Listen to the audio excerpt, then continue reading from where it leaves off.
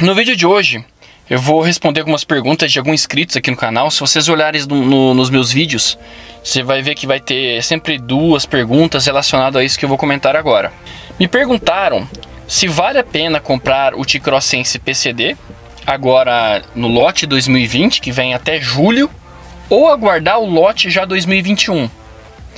Pessoal, é, a partir de agosto, setembro, mais provavelmente a partir de agosto, a Volkswagen começa a vender o T-Cross como lote 2021.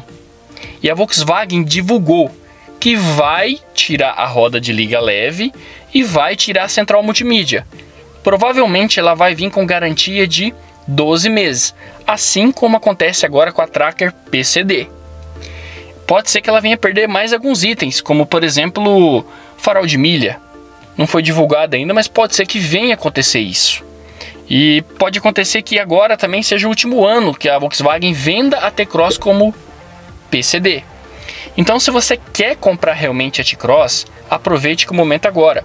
Um dos inscritos me perguntou que o vendedor entrou em contato e dizendo para aproveitar essa semana, no máximo semana que vem, já fechar um negócio com o T-Cross.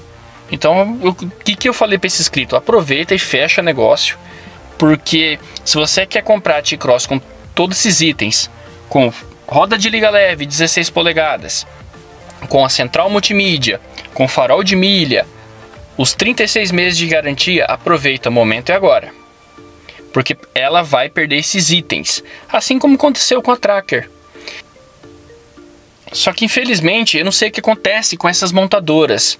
Para elas, acho que a gente não está vivendo uma pandemia, não está vivendo uma crise econômica, porque em plena pandemia, onde muitas pessoas estão perdendo emprego, estão diminuindo o poder aquisitivo, redução de salário, e as montadoras, devem de manter os itens para poder alavancar as vendas, não simplesmente vão e tiram esses itens.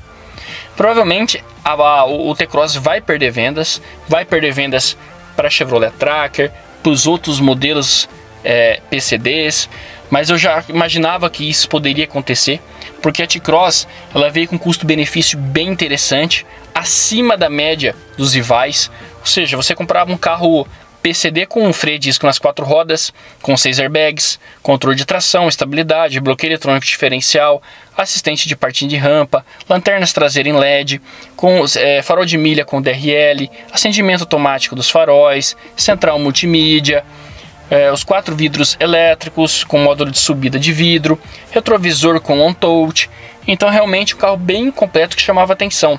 Só que eu já imaginei que isso uma hora ou outra ia acontecer, a Volkswagen ia começar a depenar, como as outras montadoras fazem também, a Volkswagen não ia, não, não ia deixar de fazer. Então a dica que eu dou é essa, se você quer comprar a T-Cross Sense, aproveite agora e compre no lote 2020. Não espere chegar no lote 2021 porque se chegar no lote 2021, com certeza você vai conseguir comprar, mas com menos itens, onde você vai ter que gastar dinheiro por fora.